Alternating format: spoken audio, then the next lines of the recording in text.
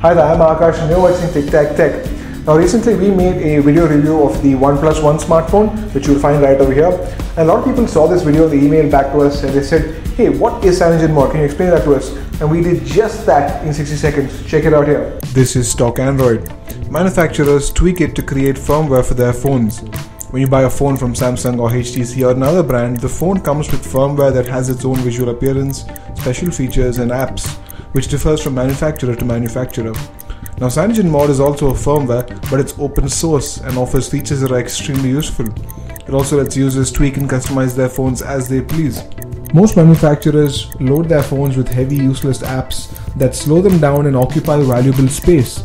In most cases, you can't remove these apps, but in the case of CyanogenMod, you can remove or replace them when you want. Apart from this, you can customize intricate parts of your phone's performance, visual appearance, and much more. Also, you get special features like powerful theming and customization, FLAC audio support, and more. CyanogenMod is always built on top of Android's latest version. If you find that your phone's performance is slow and laggy due to bloatware, it's time to switch to Cyanogen. If your manufacturer has stopped releasing updates for your phone, Cyanogen will most probably continue to do so. For more information on that, check out cyanogenmod.org. We hope you enjoyed that video. Now if you want to get mod really quickly, you can buy the Yureka smartphone. You get details for that phone in this video right here. It costs rupees 9000 and it comes loaded with CyanogenMod which is very very cool. And if you want to see more concepts of smartphones explained, do let us know in the comments below and we will do just that for you.